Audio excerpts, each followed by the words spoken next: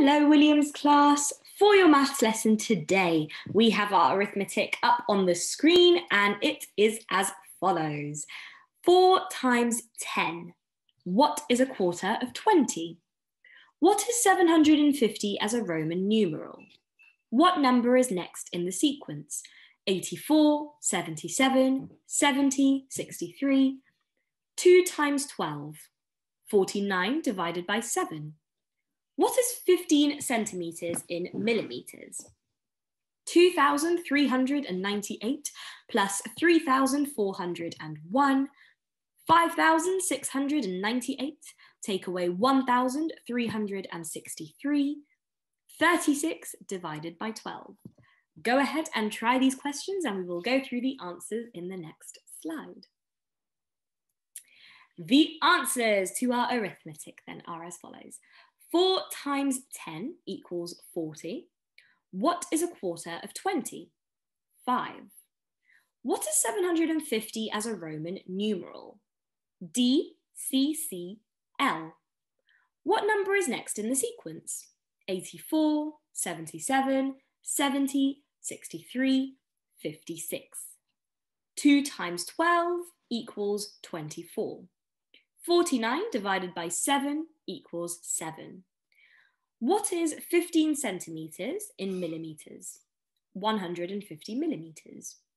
2,398 plus 3,401 equals 5,799. 5,698 take away 1,363 equals 4,335. And lastly, 36 divided by 12 equals 3. Our learning objective for today's lesson is, can I understand what a fraction is? So you're going to, by the end of the lesson, be able to explain what a fraction is, and you will also be able to define what a fraction is. Let's have a little bit of a recap on our fraction knowledge. The numerator is the top part of a number and it shows how many parts we have. So that is this number over here. Then we have the denominator. Now that is the bottom part of a number and it shows how many equal parts the whole is divided into. Unit fraction is when the numerator is one, so that is the number at the top. And a non-unit fraction is a fraction with a numerator other than one. So it's any other number except for one, such as three, or maybe even five. Have a little think to yourselves, what is a fraction? A fraction shows us a certain amount of parts of a whole. What we do, first of all, is count how many parts we have in total. This will be our denominator. So how many parts has this shape been divided into? One, two, three, four, and five. So our denominator would be five. Then we see how many have been shaded. This will be our numerator. How many triangles has been shaded? How many triangles have been shaded? Just one. So the numerator would be one, as you can see. So this fraction now shows us one part of five total parts. One triangle has been shaded, one out of five in total. So it is one out of five. Your turn. You are going to write fractions for these three shapes. Off you go. So let's go through our answers to see if we have the same answer. So for this first shape here, I'm going to see how many have been shaded. So that's one, two, and three. So that's my numerator, three. And how many parts do I have in total? One, two, three, four, five. So that is five in total. So the fraction would be three out of five. The next shape, I'm going to see how many have been shaded. One, two, three, like that. And then how many do I have in total? One, two, three, four. So my fraction would be three out of four. This shape over here, we're going to see how much has been shaded. One, two, three, four. So four is our numerator. And how many um, parts do we have in total? One, two, three, four, five, six, seven. So our fraction would be four out of seven. Here we are given the fraction. Now we need to read it correctly to then shade in the correct amount of parts. So looking at this fraction, five out of six, show me how you would shade this in to show that fraction. Off you go. So if this was me, I would shade in five parts out of that whole, um, out of the six parts, because it says in the numerator, the numerator tells us that we have to shade in five. So I'm going to begin one, just like that. That's two. That is three. That is four. And that is five. So now my drawing shows five out of six because five out of the six parts have now been coloured in. Your turn. Shade the shapes correctly. Your first fraction is five out of eight, and your second fraction is one out of six. Off you go. Give it a go. Right. Let's do this together. So if you look at the first shape, it says here to shade in five out of eight of those slices. So I'm going to start by doing that. That's one, two, three, four, and five. So I've coloured in five out of the eight parts. So that now shows my fraction correctly.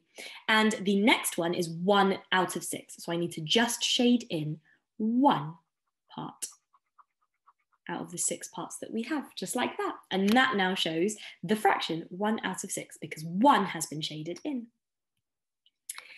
Now, your next task is to write a definition for each of the following, numerator and denominator off you go. Have a little think.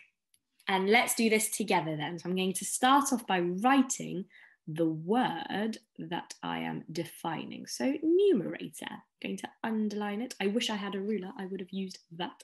Um, so the numerator is the number at the top of the fraction.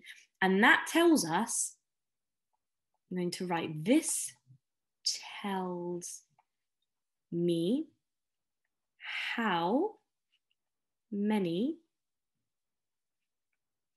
parts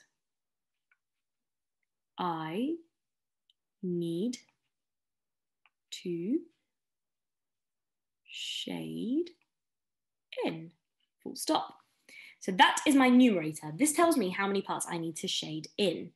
Denominator then, what is the denominator? I'm just going to write the title, denominator, I would say this tells me how many parts there are in total. Oh no, my L has gone a little bit askew there. It doesn't matter. Um, so that is uh, my two, those are my two definitions. Numerator tells me how many parts I need to shade in, and the denominator tells me how many parts there are in total. Your next task is this one here, number two. Um, tick the shapes with one third shaded. So which one of these shapes or which of these shapes, there could be more than one answer, um, are one third of the way shaded. Tick your answers. The mm-hmm. ones that I would tick would be, let's, let's go through each one to see if it would be one third. So let's first remind ourselves or tell ourselves what one third means. Now, one third means one out of three. So that is what we're looking for in these shapes. So if we go to part A, Let's work out what the fraction is. How many um, parts have been shaded? One. And how many parts are there in total? One, two, three, four. So this would not be ticked because this shows us one out of four, not one out of three. Let's look at B. How many parts are shaded? One. And how many parts are there all together?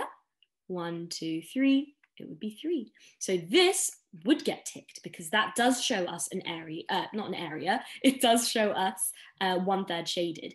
Don't be confused by the fact that those parts are differently sized.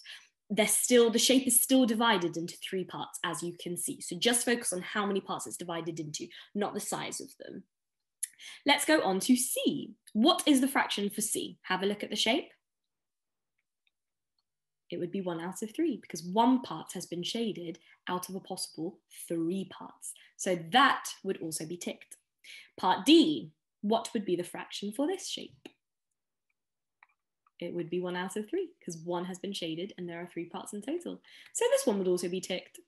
Part E, what is the fraction for this shape? One out of three. So this would be tick two. What about part F? What is the fraction here? Now this would be two out of three because there have been two parts that have been shaded out of a total of three. So that would not be ticked. What about G? How many parts have been shaded here? One. And what's the total? Four. So this would not be ticked because it's showing one out of four rather than one third. So in total then, the shapes that you should have ticked are B, C, D, and E. And lastly, you have to draw 2D shapes to match the description. One out of five are squares, two out of five are triangles, three out of five have more than three sides. So have a go at answering that question and then put your findings and drawings onto tapestry for me to see. That is all for your maths lesson for today, Williams class. Stay safe, take care, and I'll see you very soon.